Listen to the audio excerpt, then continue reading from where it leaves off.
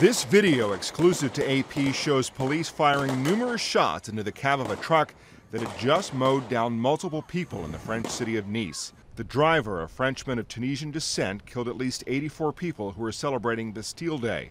Cell phone video capturing the truck driving for more than a mile along a street crowded with people and the panic that ensued as people ran for their lives. And then we turned to hear lots of um, commotion and shrieking and shouting.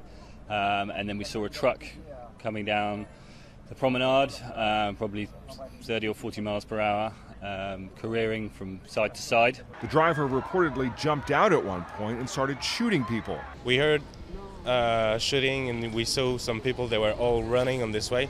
Like there were some barriers and uh, everybody was panicked. They just get on the barrier and things like that. So we asked them to get inside, to get on the floor, to get safe.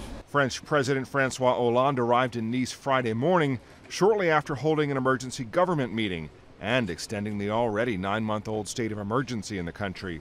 No group has claimed responsibility for the carnage, but French officials called it an undeniable act of terror.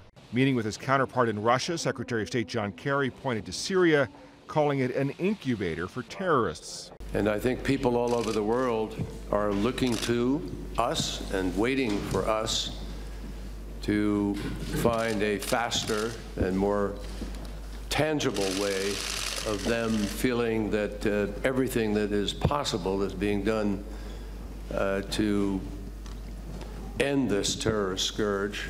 Hollande said he will bolster France's presence in Syria and Iraq. Matt Friedman, Associated Press.